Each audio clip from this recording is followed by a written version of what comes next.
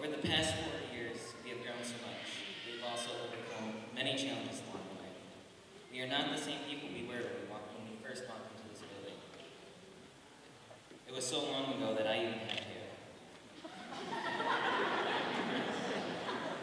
Alopecia is like basically when your hair falls out because of your immune system.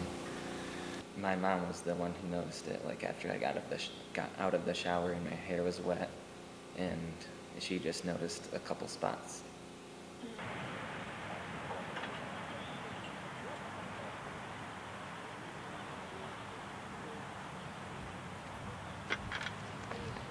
Importantly, I would like to thank my mom.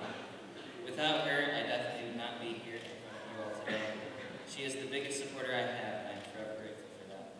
She has spent countless hours coaching me, mentoring me, and teaching me many different things over the years.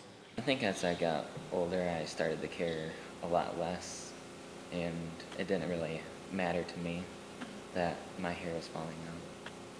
It's not really a big deal that it might seem like that at first, but eventually things will work out.